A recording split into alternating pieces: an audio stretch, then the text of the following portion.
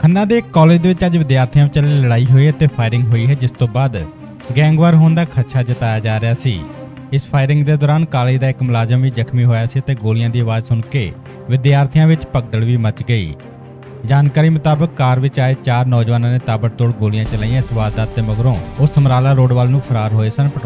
ਘਟਨਾ ਦਾ ਪਤਾ ਲੱਗਦਾ ਹੀ ਐਸਐਸਪੀ ਮੈਡਮ ਅਮਨੀਤ ਕੌਂਡਲ ਤੇ ਹੋਰ ਪੁਲਿਸ ਅਧਿਕਾਰੀ ਮੌਕੇ ਤੇ ਪਹੁੰਚਿਆ ਤੇ ਪੁਲਿਸ ਨੇ ਬੜੀ ਫੁਰਤੀ ਦੇ ਨਾਲ ਇਸ ਵਾਰਦਾਤ ਨੂੰ ਟ੍ਰੇਸ ਵੀ ਕੀਤਾ ਹੈ ਤੇ ਇੱਕ ਮੁਲਜ਼ਮ ਨੂੰ ਗ੍ਰਿਫਤਾਰ ਕਰ ਲਿਆ ਗਿਆ ਹੈ।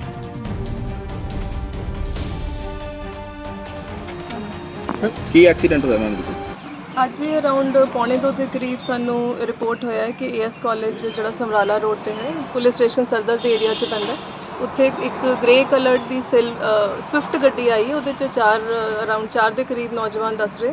ਉਹਨਾਂ ਨੇ ਇੱਥੇ ਫਾਇਰਿੰਗ ਕੀਤੀ ਹੈਗੀ ਤੇ ਮੌਕੇ ਤੇ ਇਮੀਡੀਏਟਲੀ ਮੇਰੇ ਜਿਹੜੇ ਐਸਐਚਓ ਔਰ ਡੀਐਸਪੀ ਖੰਨਾ ਔਰ ਐਸਪੀਡੀ ਡੀਐਸਪੀਡੀ ਸੀਆਈ ਇੰਚਾਰਜ ਸਾਰੇ ਆ ਗਏ ਸੀਗੇ ਤੇ ਸਾਨੂੰ ਸੀਸੀਟੀਵੀ ਫੁਟੇਜ ਥੋੜੀ ਬਹੁਤ ਹਲੇ ਮਿਲੀ ਹੈ ਤੇ ਇਸ ਦੇ ਵਿਆਹ ਤੇ ਥੋੜਾ ਬਹੁਤ ਆਇਡੈਂਟੀਫਾਈ ਵੀ ਹੋ ਗਿਆ ਔਰ ਕੁਝ ਇਹਨਾਂ ਦੇ ਲੋਕਲ ਕਾਲਜ ਦੇ ਵੀ ਬੱਚੇ ਜਿਹੜੇ ਹੈਗੇ ਉਹ ਆਇਡੈਂਟੀਫਾਈ ਹੋ ਗਏ ਤਾਂ ਸਾਡੀ ਸਾਰੀ ਟੀਮਾਂ ਲੱਗ ਗਈਆਂ ਜੀ, ਬਹੁਤ ਜਲਦੀ ਅਸੀਂ ਇਸ ਕੇਸ ਨੂੰ ਟ੍ਰੇਸ ਕਰਨਾ ਜਿਸ ਤਰ੍ਹਾਂ ਮੈਮ ਰੂਮਰਸ ਨੇ ਗੈਂਗ ਵਾਰ ਜਾਂ ਸਟੂਡੈਂਟ ਵਾਰ ਇਸ ਤਰ੍ਹਾਂ ਦਾ ਕੋਈ ਸਾਹਮਣੇ ਆਇਆ ਜੀ?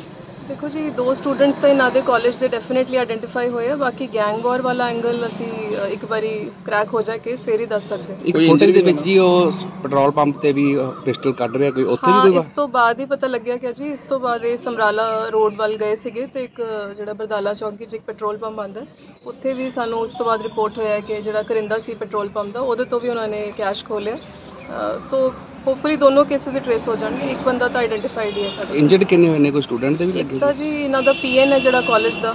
ਉਹ ਇੰਜਰ ਹੋਇਆ ਹੈ, ਉਹਨੂੰ 32 ਸੈਕਟਰ ਚੰਡੀਗੜ੍ਹ ਰੈਫਰ ਕਰ ਦਿੱਤਾ ਹੈ। ਉਸ ਤੋਂ ਇਲਾਵਾ ਦੱਸ ਰਹੇ ਕਿ ਇੱਕ ਜਿਹੜਾ ਲੜਕਾ ਦੂਜਾ ਇਹਨਾਂ ਦੇ ਕਾਲਜ ਦਾ ਉਹਦੇ ਵੀ ਥੋੜੀ ਬਹੁਤ ਸੱਟ ਲੱਗੀ। ਮੇਨ ਕਾਰਨ ਕੀ ਹੈ ਜੀ?